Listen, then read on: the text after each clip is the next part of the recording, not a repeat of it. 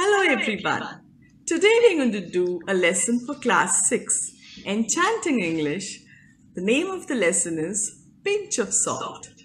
Before we start the lesson, I want to ask you something. Has it ever happened to you that you sat to have your food and the first bite of your meal was not so tasty or was tasteless? The reason being there was less salt or no salt. What happened then? You took a pinch of salt and sprinkled it on your food. The food was tasty again. That has happened with all of us. The food that we eat is obtained either from plants or from animals. But have you ever wondered where does the salt come from? Want to know? Let's find out. Sprinkly salt. Salt from sea to cellar. If you have ever been to the seaside and had a swim in the sea, you'll know that seawater is very salty. In fact, this water, which comes from the Atlantic Ocean, is actually 3% salt. Here at this salt factory in Anglesey, which is an island off the northwest coast of Wales, they make sea salt by extracting it from seawater so that people can use it when cooking food. To make two tons of sea salt, first 20,000 litres of seawater are pumped from the sea through these pipes into this huge holding tank at the factory. Did you know that 20,000 litres is enough water to fill a swimming pool? Next, the seawater is filtered to clean it of any sand and seaweed. Before it is pumped into this evaporator, where it begins to be heated up. As the seawater is heated up to boiling point, steam rises off it. The steam doesn't contain any salt, so the remaining water becomes even saltier. Once enough water has evaporated, it is pumped out of the evaporator and into the blending tank, where different batches of seawater, which are now called brine, are blended together so that they have the correct percentage of salt for the next step. The amount of salt in the brine is called its salinity. The salty brine is then pumped into these shallow tanks, which are called crystallizers. This is where the salt crystals will form. The salt harvester stirs the brine in a figure of eight shape like this, to ensure it is well mixed and the water in the brine evaporates evenly.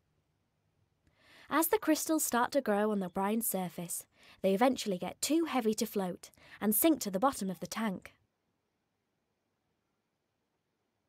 When the salt crystals have finished forming, the harvesters gently scoop out the flakes and place them in these plastic trays. Next, they rinse the crystals until the right texture and degree of sparkle is achieved.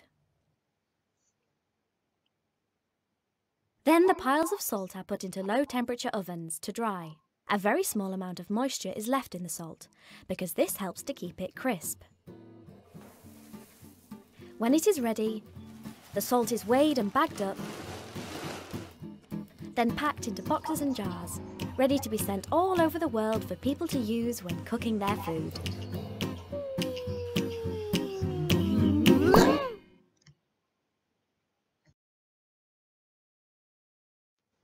Well, now we know where the salt come from and how it is made.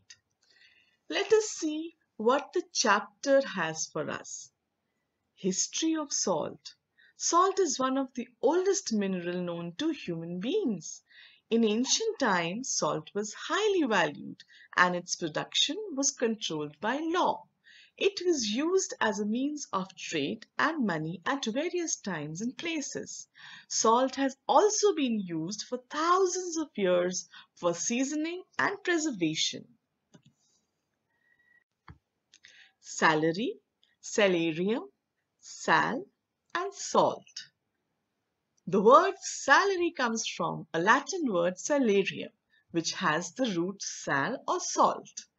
In ancient Rome, it was the term used for money allotted to Roman soldiers to buy salt, which was expensive but essential commodity. When a soldier did not do good work, his salary was cut. This is how we get the expression not worth his salt. How is salt extracted? Well, we just now saw in the video the man-made process of extracting salt. Well, there are natural ways also. Solar evaporation is the oldest method of salt production. Salt evaporation ponds, salterns are built along the coast. Seawater is fed into ponds. Natural evaporation of water due to the action of sun and wind leaves behind salt crystals. Now the raw salt is washed, dried, shifted and graded and then packed as required. Natural and man-made salt pans. We just saw the man-made salt pans, yes? Natural salt pans are different from man-made salt pans. Naturally formed salt pans are expanses of flat land where the surface is covered in a hard white crust of salt and other minerals. These are mainly found in deserts and the other arid regions where larger water bodies have dried up over thousands of years leaving behind salt and other minerals. Well, edible salt is not the only kind of salt. We also have rock salt. Rock salt mining is extraction of rock salt present in the rocky underlayers of the earth's surface. Once it is brought to the earth's surface, it is processed and used for industrial and other non-food purposes. Do you know children, miners prefer working in salt mines because they are among the safest and also the most comfortable of to work in. Well, by name itself, you know that vacuum evaporation is the process in which salt is heated in large containers called vacuum pans. If you check a packet of salt, it is mentioned on it that it contains iodine. Well, what's iodine? Iodine is an important mineral used for growth of our body. If we have less iodine in our body, it causes major diseases like mental retardation and goiter. So the simple solution was to add iodine to something that everyone consumes regularly. Hence iodine was added to salt. Well, any guesses? Who is the famous personality shown in that picture? Yes, you guessed it right. That is Mahatma Gandhi. But what is he doing? I'll tell you. When the British ruled India, they imposed a salt tax and salt law. According to the salt law, Indians could not collect, make or sell salt. This led to an increase of price in the salt and poor people were not able to buy it. Anyone who disobeyed this law was imprisoned. Gandhiji found this law very unfair. He organized the Dandi March from Sabarmati Ashram in Ahmedabad to Dandi, a village on the coast of Gujarat. On 6th April 1930, Gandhiji picked up some crystals of salt and pledged to make India free from British rule. For breaking the salt law, the British put Gandhiji and his followers into prison. I hope you have understood the lesson well. I have shared the question and answers in this video.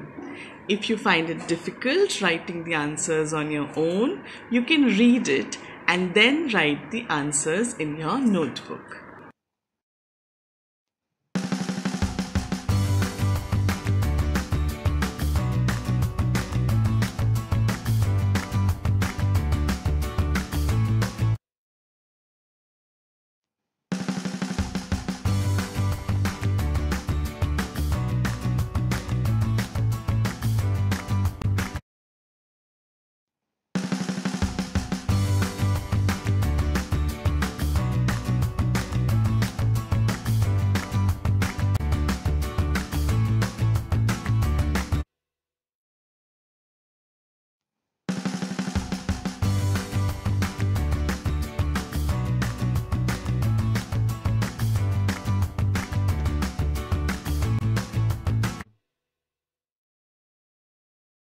Let us talk about grammar now.